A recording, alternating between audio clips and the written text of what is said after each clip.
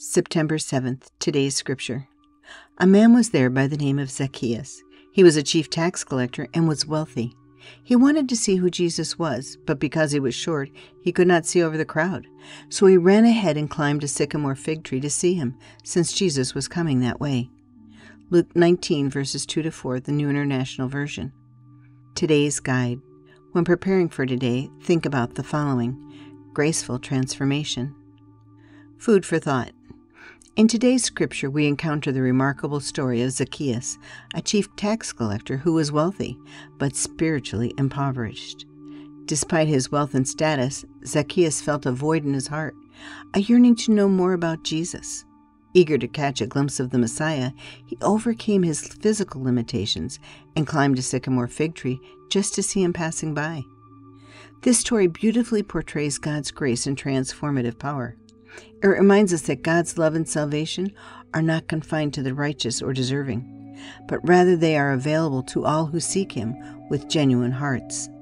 Zacchaeus' determination to see Jesus reveals his thirst for spiritual fulfillment, and God responded to this longing. Upon meeting Jesus, Zacchaeus experienced a profound transformation. His encounter with Christ led to repentance and a desire to make amends for his past actions. He vowed to give half of his possessions to the poor and to repay anyone he had cheated four times the amount. This demonstrates how encountering God's love can lead to radical change in our lives, inspiring us to turn away from sin and embrace a life of gratitude, generosity, and compassion. Gratitude. In the story of Zacchaeus climbing a sycamore fig tree to see Jesus, we find powerful lessons about gratitude. Consider Zacchaeus' determination when he went to great lengths to catch a glimpse of Jesus despite his physical limitations.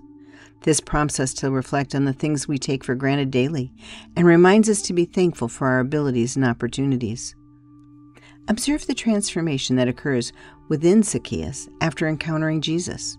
His heart softens and he repents, willing to make amends and share his wealth with the less fortunate.